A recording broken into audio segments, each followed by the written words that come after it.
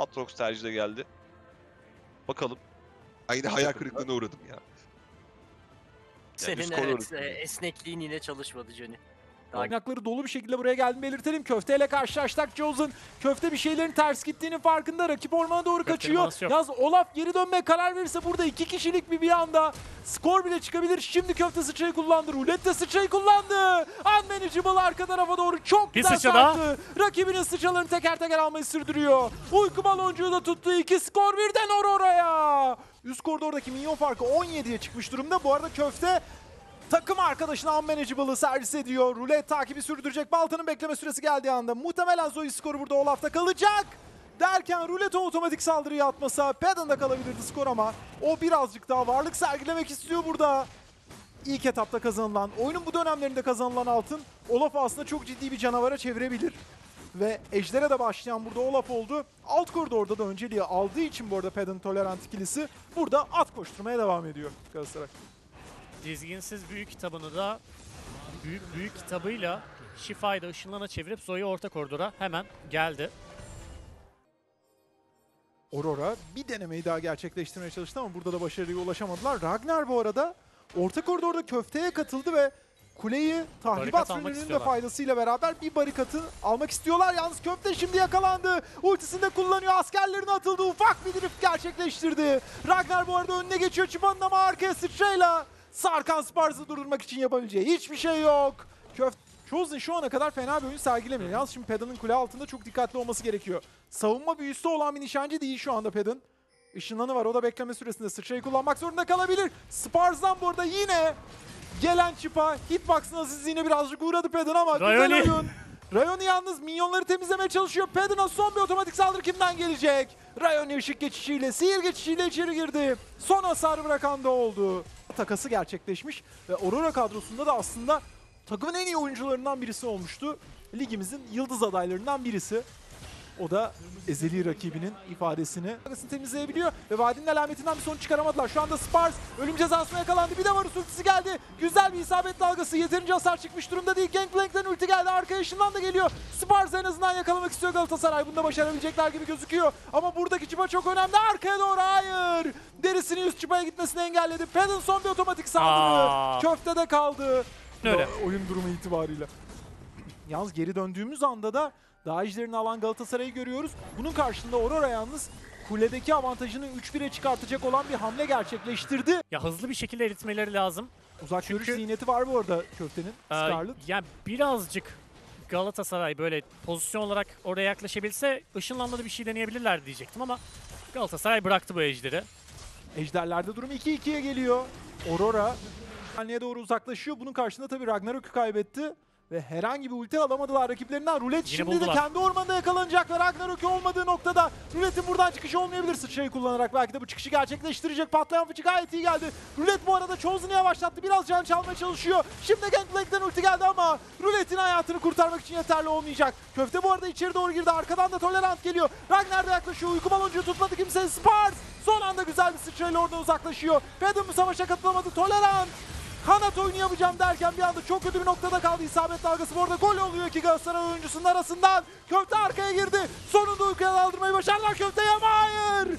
Köfte oradan bir skor daha çıkardı. 1'e 3 attı orada. Şimdi buradan çıkış çok olası gözükmüyor. Yoni takibe başladı. Medli takibe başladı.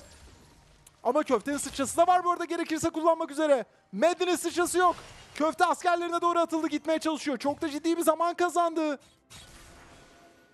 Bakalım sıçrayı kullanacak mı? Medlin üzerine doğru gidiyor ama. Hayır sıçrayı burada kullanmayı tercih etmedi. Köfte. Akıllıca bir hamle. Ama aldığı 3'te 3. Onu kıvama getirir mi dersin Scar? Ay, Chosen'a düşüyor ve e, Spars'a düşüyor. Şimdi orta koridordan bu arada yakalandılar. Tolerant çıpaya yakalandı. Tolerant musibet zinciri seni kurtarmayacak. Rioni aman vermiyor. 4-0-0'lık bir Ezreal performansı. Küresi köftenin bench'isini almayı başardılar. Ruletle Medli arasında birebir unmanageable. Köfteye fena olmayan bir hasar verdi ama 5000 cana kadar düştü.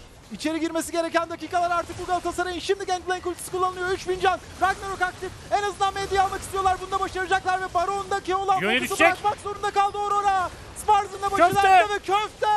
Ultiyle beraber ayırdığı rakiplerinin canına okuyor. Aurora o barondan çıkmayı başaramadı. Bu da onların sonu oldu bu pozisyonda. O kadar kötü oynadı ki Aurora burayı. Yok, Yani yavaş, gerçekten çok çok yanlış oynadı. Çok yanlış evet, oynadılar yani gerçekten burayı. Çıkmaları gerekiyordu. Çok basit. Ya ya çıkmaları gerekiyordu ya da dümdüz 5 kişi içeri girip bitirmeleri gerekiyordu o baronu. Köfte bu arada Chosen skorunu da alarak 7-3 3'e gelecek. İki pozisyonda şu raddeye geldi. Yani şuraya kadar Aurora'nın gelmesini sağlayan o güvenli oyun, o iyi oyun yerini telaşa bıraktı anda bu arada Gangplank'ten arka taraftan gelenleri kesen bir ulti. Spars savaşın hemen başında düşüyor. Ve Roulette Ragnarok'u açarak bütün kitle kontrollerinden sıyrılmayı başarıyor. Mendy'nin başı dertte son bir hasar o da Ragnar'dan çıktı. Aurora 3. ejderi olacaktı rakibinin. Neden böyle bir hamle yaptılar? Gerçi tuzağa yakalandılar bir yandan onu da söylemek lazım ama işte Gangplank ultisinin nasıl farklar yaratabileceğini gördüğümüz bir savaşta. Bir yandan da şey düşündüler. Hani bunu alırsak kazanırız.